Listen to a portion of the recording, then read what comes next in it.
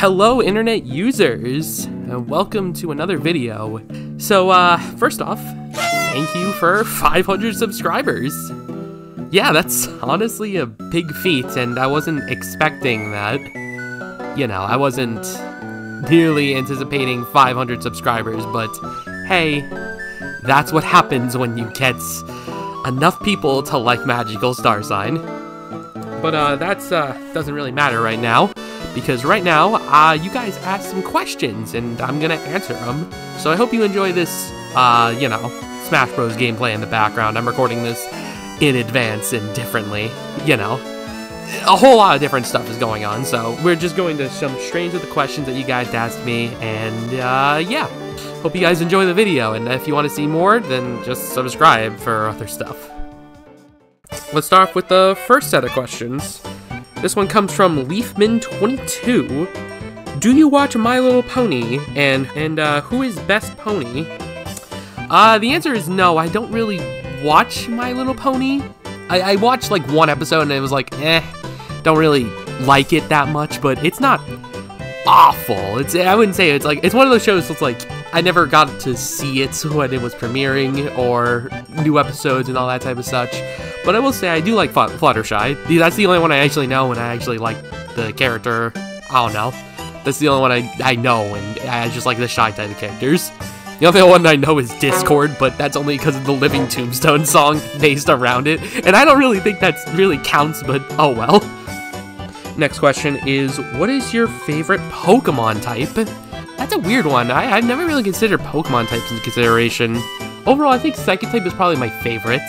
There's a lot of unique things that you can do with Psychic types, and I personally, I think a lot of cool Pokemon can come from Psychic types, and uh, most of them are bangers, let's be fair. Of course, there are the misses here and there, but hey, Psychic is really awesome.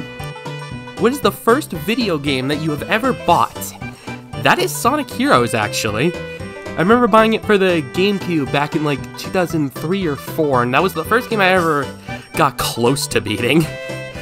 It was a fun game. Like, I wouldn't say it's like one of my favorites right now, but it was definitely the first game I ever bought and completed up to an actual point.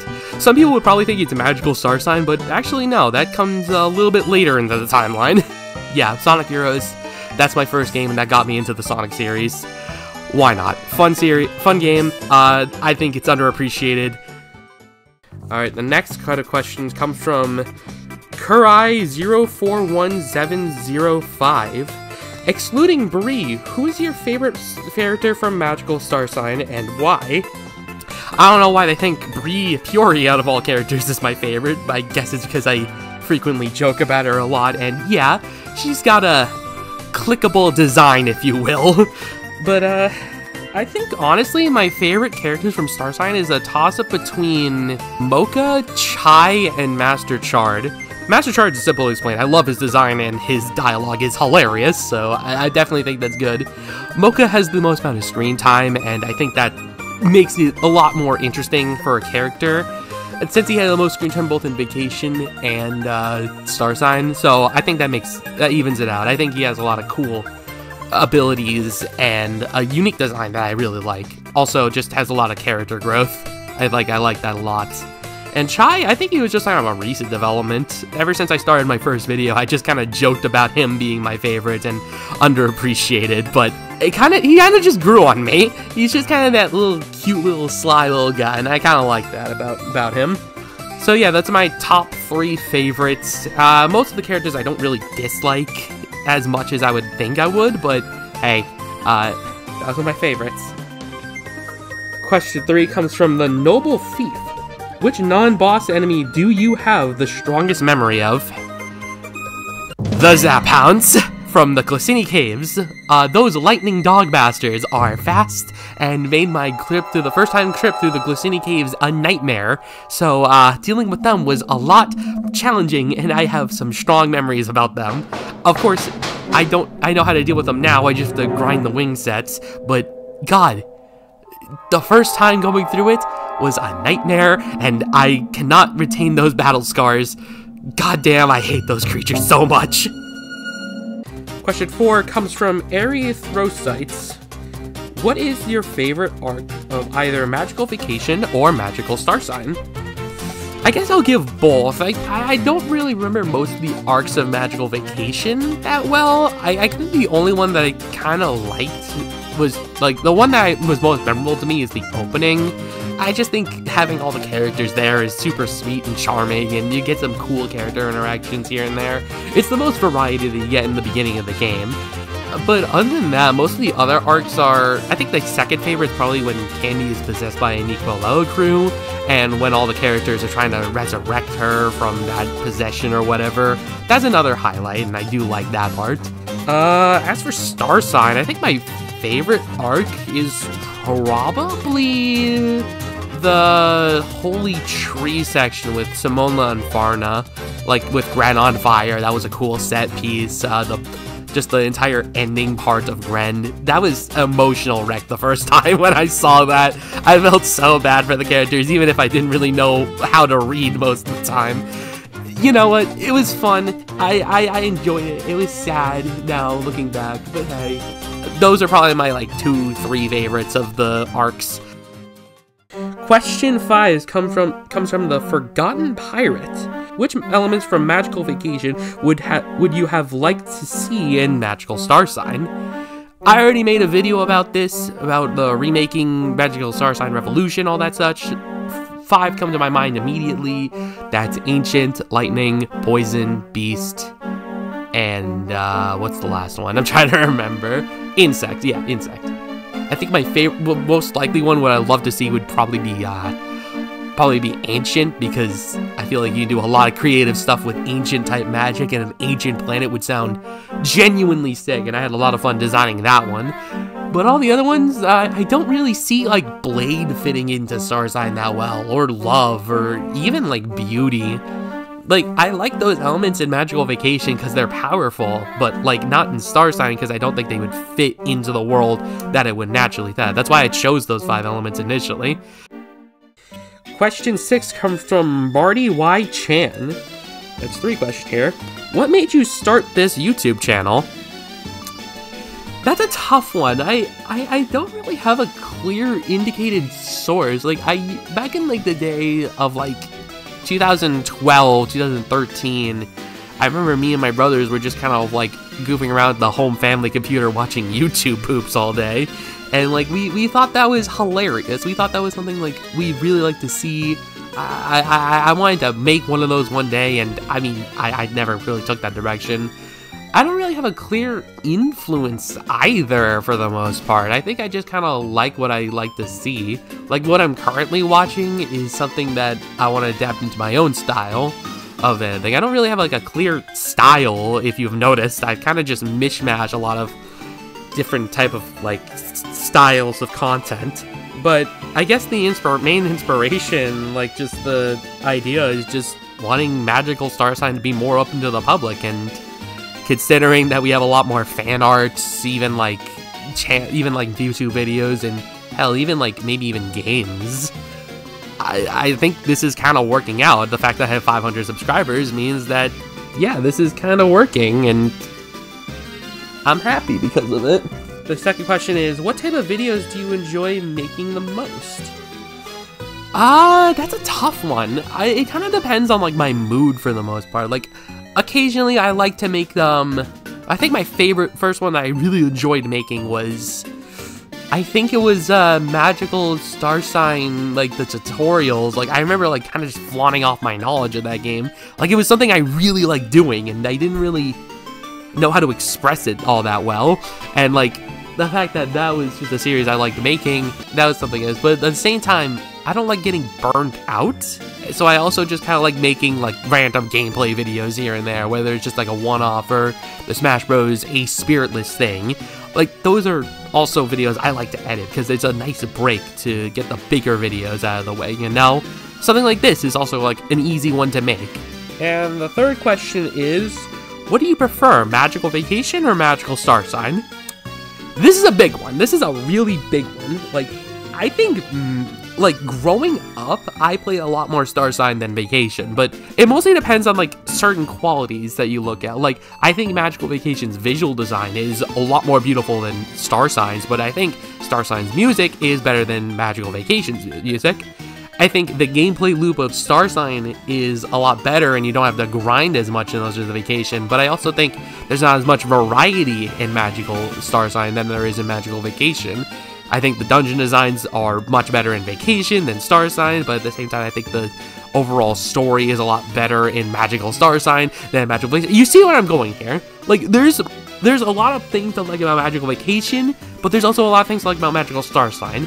So I think currently, I still think Star Sign is my personal favorite, but that could change, honestly. I've been playing a lot more Vacation, and I'm starting to understand why people like that game more. I understand why Japan likes it a lot more, let's be fair. Next question is from Zave Thorn. Do you have a favorite enemy exclusive attack and slash spell in Magical Star Sign?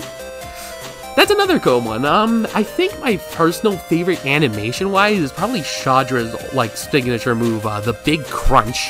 That move is just, like, essentially just a black hole that, like, destroys everything. I love the animation visually and how powerful the attack is. Like, like that's a final move right there, and I love that. It's a good move, solid, it does good damage, and damn it, will ruin your run most of the time. It's very annoying to deal with, but hey, it's worth it when you see it, because goddamn, it is a strong move.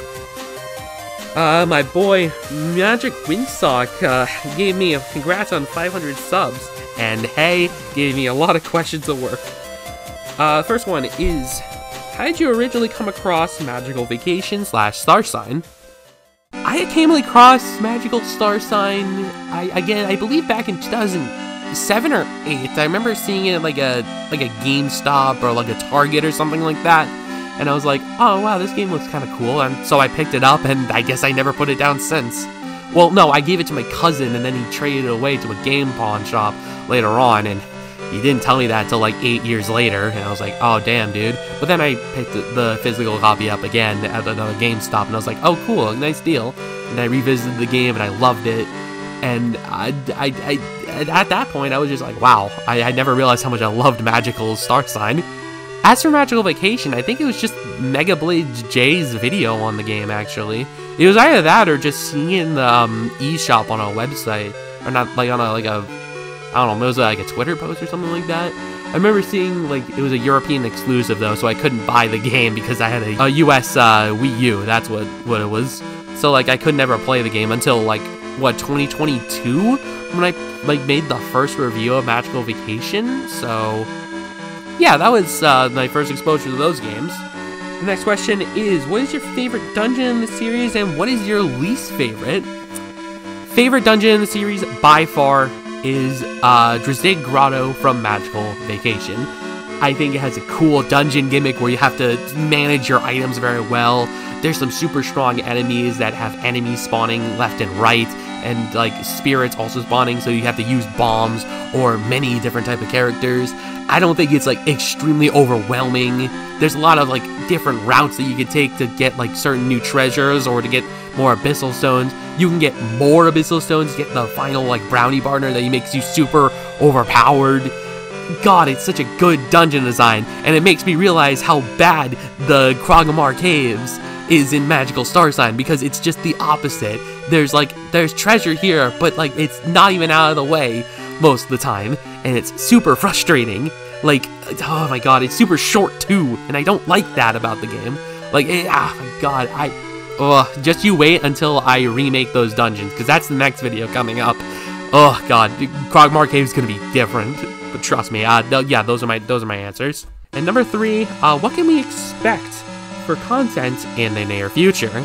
Well, already I just said, uh, yeah, Magical Revo Magical Star Sign Revolution Part 4, Dungeon Designs, but I also have a much bigger video planned. I already have the script completely done, part of the script has been recorded. Don't know how much more it's going to be recorded because my current recording situation, and I need to find footage for what I'm recording for.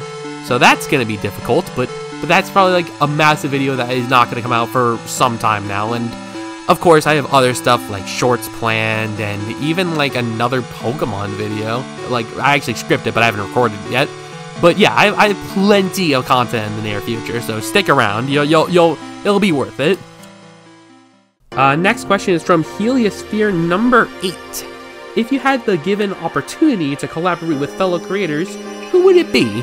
Honestly, just the viewers of this channel. I, I kind of want to be like a collaborative piece for everyone that's watching, or even like the Magical Star Sign Discord server. I feel like I would be really overwhelmed with big creators, but hey man, if you're willing to play through Magical Star Sign, I'll be more than happy to be your be your backseat gamer. You never know. But yeah, no, I, I'll be more willing to collaborate with all the other people in the server, or even just like in general. Like, if you want to make a video uh, that sounds interesting to me, then yeah, we'll make a video together. How about that? But if it's a game that I don't really want to play, then sorry, bud, I'm not. I'm not gonna give it to you. Uh, the next question is from TT Bacho. Do you think Magical Star Sign will ever be acknowledged by Nintendo? If so, what are you hoping for? And if not, same. I mean, there's always a timeline where Magical Star Sign will be acknowledged by Nintendo again, and if it's Magical Star Sign, it's more likely going to be Magical Vacation, because that's a much more Japanese exclusive one. And I mean, I mean, if Advance Wars can get a remake and like an old SpongeBob game get remastered in 2022, what's the like? What's the likelihood of just an obscure JRPG getting different like mechanics and such like that, you know?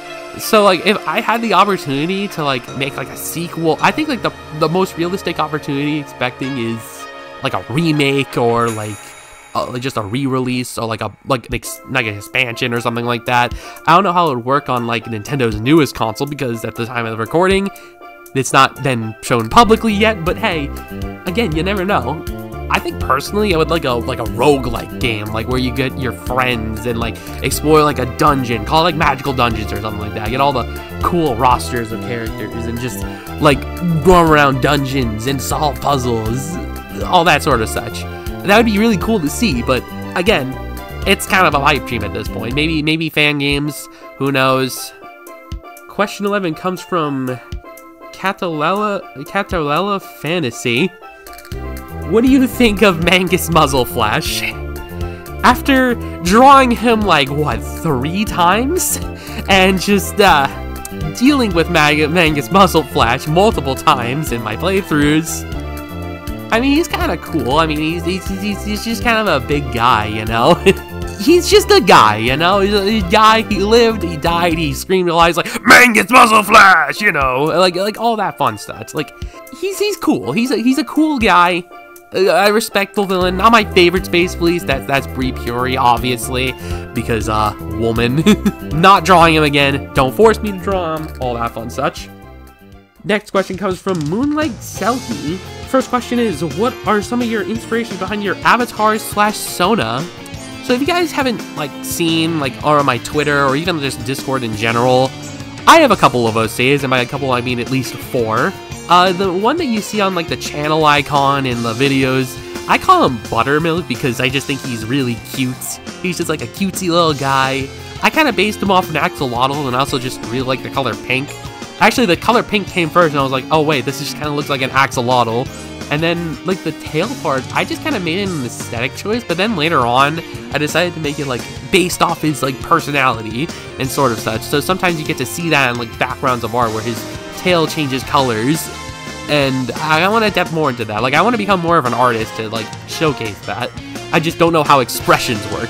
So hopefully one day you'll get to uh, see more.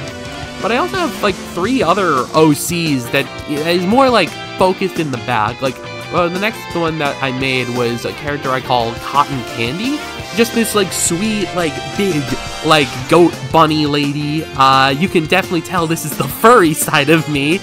I drew her once, she looked like a rejected Muppet. Then uh, two of my friends made uh, alternate design concepts, and I liked more of the anthropomorphics approach. And then I gave it to a commissioner, which uh, made it a little bit bigger for me, and then gave it to another commissioner. I was like, okay, this is going in the direction I was not anticipating, and I was like, okay, we gotta size those back, all right? YouTube, please don't don't get angry at me. But yeah, you know, this is a character I was like, okay, if I'm gonna do some other artwork, she's just a little silly. Actually, the next character I had was actually like a drawn by one of my friends. Uh, she, he just doodled this one like flock girl one time. I was like, I don't know what he was like. I don't know what to do with this. And I was like, okay, let me just buy it off of you. So fifty dollars later, I just made a character and I called her Grapefruit. Uh, made her like kind of like this sassy girl who's just really angsty and all that sort of such. But yeah, like I, I just wanted to make a angsty styled girl who like counters with buttermilk most of the time and all that sort of such. Uh, she's definitely more recent. I'm making a lot more commissions of fan art of her, so you know, so expect to see that on like my Twitter and even like other other sites that you'd see them. And the last OC I made by hand was a ant character I based off an enemy from Magical Star Sign. Uh, I call him Eclair. He's just this like ant boy hero shonen protagonist of something like that. I don't know. The details are still kind of rough with him because I don't really, I never really used him that much. But that's gonna change. I'm gonna make more. I'm hopefully gonna commission him a little bit more. Uh, he's just gonna be that little like guy you root for, like the again the shonen guy that you want to root for in like the story. But yeah, those are like my OCs, and hopefully I want to make more. Like I want to make like another like enemy type from Star Sign or something like that. I don't know. We'll, we'll see in the future. Uh, number two, what is the video process do you like and dislike? This is a simple question. The part I like the most is script making. That part is always a joy. I love doing that. It makes it so much fun. Oh, God, I, I, I, don't, I don't know how to explain the joy I get of making a script. The hard part is actually uh, getting footage and editing it all together. Uh, that part can be really difficult and time consuming, especially when my laptop starts freaking out about the littlest overheating situation. Some of my projects get pretty big if you haven't noticed. And question number three, what other game would you recommend to more people to try, other than Magical Star Sign Vacation? That's a tough one. I, I honestly, I don't really know, honestly. I, I wouldn't really recommend. Just try what you like if you like to see something, then try it. Like I'm not really gonna force it upon you. Like I never want to force a game upon you if you don't like it. That's kind of like I like. I know that's a, like the entire opposite about magical like star sign propaganda, but I just want to make the game more public. But yeah, uh, play what you want to play and don't worry about it. This one comes from Anu Soul, who should play Chai in a potential magical star sign movie. First off, bold claim that a Magical Star Sign movie is going to exist. I, I know Chris Pratt might say that it might lead to a cinematic Nintendo universe, but uh, who should play it? Like, I know honestly because it's kind of like that sort of anime art style. You have to go for like either like a sub or dub voice actor, but I have no idea uh, who would fit someone like that off the top of my head. Uh, Michael Cera, but time traveled. Yes, that's my answer. Michael Cera as Chai. I won't take no for an answer. Next question comes from my brother Sean. How does it feel to know thousands of people have been indoctrinated by your propaganda? I don't. I, I honestly don't know. I'll be completely honest. Like a lot. I, I again, reaching 500 is crazy, but you know, uh, feels great that people have been somewhat hypnotized by my propaganda, and I'm glad that people have taken notice of that pro said propaganda. And the other question is uh, social security slash credit card number reveal when. Let me tell you, Sean. Um, if you can make like if you can go into Blender and recreate every single magical star sign like sprite and make it into a 3D model, send it to me, and then make like a fanfic that is longer than the Bible, I will reveal my social security card number at all. I no no no no promises. And I'm starting to notice that this might be the end of the questions because uh, from Dupe D92 is, uh, well, uh, there's a couple of uh, eh, questions that he gave me that I don't think are really serious. Uh, what magical star sign monster do you think would make the best one to marry, have kids, and grow old with? I don't, I don't know. The Mossling? He's kind of fat. He's kind of like a husband type character. I don't, I don't goddamn know on that one. The, the, the third one is who do you think would win a fight? Shrek the six-year of wool sheep or Naruto the selfie monkey? I, I don't even know what that means, dude. I, I, I, I don't. Shrek is powerful, but like Naruto is Mar Naruto. So I, I guess Naruto, the selfie monkey. What does that mean? And then like, like the other question is, is Mewtwo acoustic? And he liked me a clip of the one moment where Mewtwo just kept side being off the stage, but like I don't think he's acoustic. Also, don't say acoustic. That just sounds wrong. And then, like, the last one he actually said was mukbang at 1,000 subscriber milestone. Potentially. That actually might actually be a th funny thing to do. I, I, won't even lie. What I'm actually going to do with 1,000 is I'm going to cosplay as Master Chard from Magical Star Sign. So, uh, hit that subscribe button. But, uh, the actual question that he asked is, what is your favorite thumbnail that you've made?